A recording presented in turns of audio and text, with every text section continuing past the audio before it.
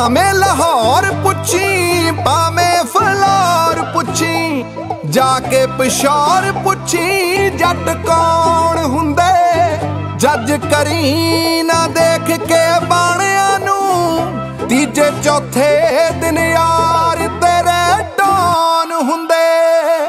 ਵਿਗੜੇ ਜੱਟ ਨੂੰ ਸਮਝੀ ਨਾ ਤੂੰ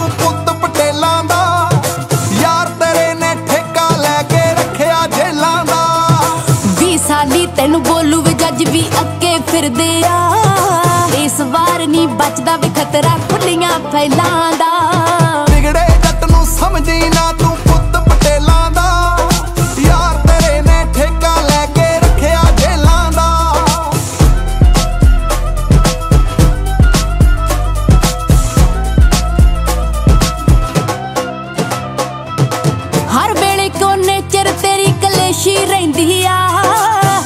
ਨਾ ਬੇ ਕਦੇ ਬਠਿੰਡੇ ਵੇ ਤੇਰੀ ਪੇਸ਼ੀ ਪੈਂਦੀ ਆ।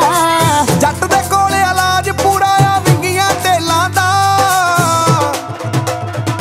ਆ ਵਿਗੜੇ ਜੱਟ ਨੂੰ ਸਮਝੀ ਨਾ ਤੂੰ ਪੁੱਤ ਪਟੇਲਾਂ ਦਾ। ਯਾਰ ਤੇਰੇ ਨੇ ਠੇਕਾ ਲੈ ਕੇ ਰੱਖਿਆ ਜੇਲਾਂ ਦਾ। 20 ਸਾਲੀ ਤੈਨੂੰ ਬੋਲੂ ਵੇ ਜੱਜ ਵੀ ਅੱਗੇ ਫਿਰਦੇ ਆ। ਇਸ ਵਾਰ ਨਹੀਂ ਬਚਦਾ ਵੀ ਖਤਰਾ ਖੁੱਲੀਆਂ ਫੈਲਾਂ ਦਾ।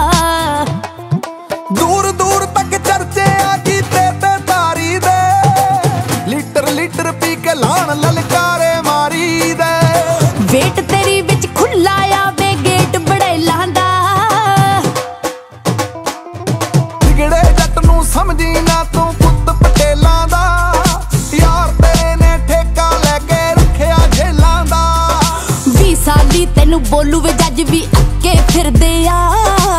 ਇਸ ਵਾਰ ਨਹੀਂ ਬਚਦਾ ਵੇ ਖਤਰਾ ਖੁੱਲੀਆਂ ਫੈਲਾਂ ਦਾ।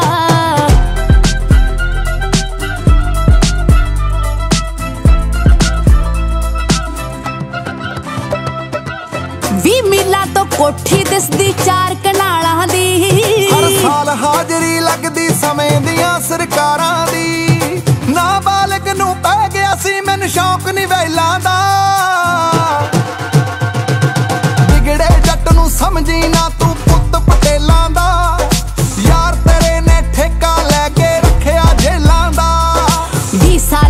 ਸਾਲੀ ਬੋਲੂ ਵੇ ਜੱਜ ਵੀ ਅੱਗੇ ਫਿਰਦੇ ਆ। ਇਸ ਵਾਰ ਨਹੀਂ ਬਚਦਾ ਵੇ ਖਤਰਾ ਖੁੱਲੀਆਂ ਫੈਲਾਂ ਦਾ।